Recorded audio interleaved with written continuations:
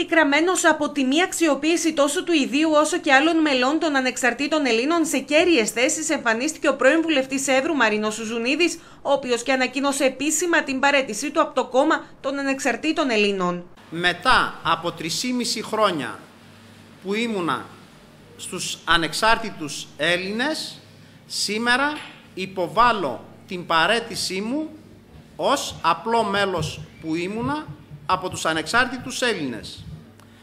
Θέλω να αναφερθώ στους λόγους, αφού πρώτα ευχαριστήσω όλους αυτούς που με ψηφίσανε, αυτούς που δεν με ψηφίσανε, αυτούς που με αγαπήσανε, αυτούς που με κοντράρανε, αυτούς που συμφωνούσα, αυτούς που διαφωνούσα και γενικά όλο τον κόσμο. Όπως είπε ο πρόεδρος των Ανεξαρτήτων Ελλήνων θα έπρεπε να τον τοποθετήσει σε κάποιο υπουργείο, ωστόσο αντί αυτού όπως δήλωσε τοποθέτησε άλλους οι οποίοι είχαν διαφορετική κομματική ταυτότητα. Εγώ, να μην σας φανεί υπερβολικό, περίμενα όταν δημιουργήθηκε η κυβέρνηση με το ΣΥΡΙΖΑ με υπουργούς των ανεξαρτήτων Ελλήνων, περίμενα από τη στιγμή που έχει κάνει ο Πάνος ο Καμένος υφυπουργό Αγροτικής Ανάπτυξης, τον κύριο Παναγιώτη Σγουρίδη,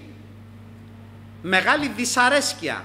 Δηλαδή, εγώ περίμενα να με κάνει και μένα υπουργό. Όχι τη θέση του διοικητού είχα την απέτηση, για υπουργός είχα την απέτηση. Τώρα, σε ό,τι αφορά τις θέσεις των διοικητών, εγώ και, το, και τα άλλα παιδιά, τα οποία είναι πολύ δυσαρεστημένα, θεωρούσαμε ότι θα έχουμε λόγο στην Ανατολική Μακεδονία και Θράκη. Παράλληλα, ο κ. Σουζουνίδης, κατά τη συνέντευξη τύπου, ανέλησε τους λόγους της παρέτησής του, ενώ πραγματοποίησε και αναφορά στις προεκλογικές εξαγγελίες των ΑΝΕΛ και όσα δεν έγιναν. Αναφορικά, είπε πως οι ανεξάρτητοι Έλληνες ξεκίνησαν ως αντιμνημονιακό κίνημα και βρέθηκαν να ψηφίζουν μνημόνια. Από αντιμνημονιακή γίναμε μνημονιακοί. Θα έπρεπε να βγούμε στον κόσμο, θα έπρεπε να είχαμε παραιτηθεί από την κυβέρνηση μαζί με το ΣΥΡΙΖΑ και να λέγαμε στον κόσμο την αλήθεια ότι δεν υπήρχε άλλος δρόμος.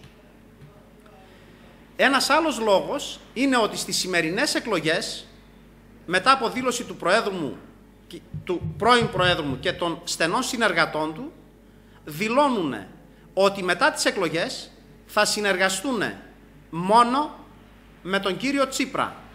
Αυτό είναι μια μεγάλη διαφωνία δική μου όπου θα έπρεπε να κατεβούμε ως ανεξάρτητοι Έλληνες και με το καλό, εάν μπαίναμε στη Βουλή για το λόγο ότι τα ποσοστά μας δείχνουν σχετικά χαμηλά, εκεί να συνεργαστούμε με όλα τα κόμματα.